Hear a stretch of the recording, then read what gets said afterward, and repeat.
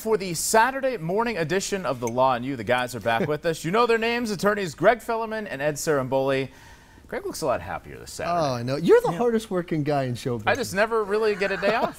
ever, ever. You just work, work, work. Not quite, but yeah, hear a lot. But it's always exciting to be here with you guys. And Mm-hmm. of course, on, on Saturday morning, Eyewitness News, our big show here. Oh, Oh, we love this. we love it. We've got a question to answer this morning. This involves uh, an injury on the job here. I work at a local hospital and I injured my back lifting a patient from a wheelchair. I told my supervisor the other day, but I did not fill out a report.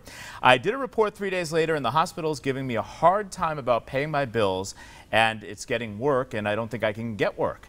Help. What does Lisa and Scranton do? It sounds like a, a lot of complications here this Yeah. Lisa, pick up the phone, call a lawyer uh, because you're in for a long, protracted uh, litigation on this.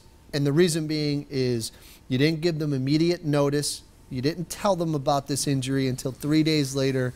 So how does your employer, you know, your employer's going to say, well, how do we know you actually got hurt on the job and you didn't get hurt at home or you didn't get hurt somewhere else?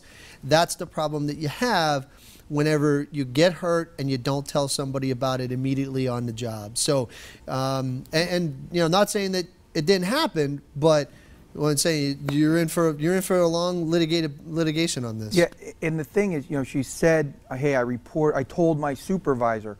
That's not good enough, and I'm going to tell you why. Because I just got done litigating a comp case where you know there was reports of an injury a day, you know, that day, and then a next day, and they want to see it in writing. So take the time, fill out the accident report. If you have a witness, have the witness, you know, because it, the employer is going to turn this on you as if you're lying, and you're going to be the one, you know uh, you know, defending your, yourself. So you have to take the steps. If you're injured, I don't care if you stub your toe, fill out a report. I mean, it's that simple, it's that easy. And then if you step into court, your notice requirement will be met and the case is going to go in a lot better for you.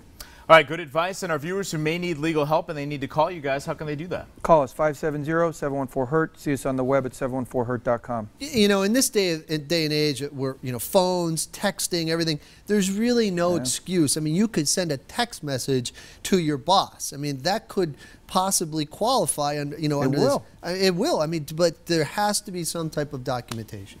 All right, good advice. Results matter. Attorneys Greg Fellerman Great and Ed coffee. Ciarimboli. Great coffee. Enjoy the coffee today, guys. We'll see you Monday. Be the best. Don't forget, PAHomepage.com or the Law and You hotline are open.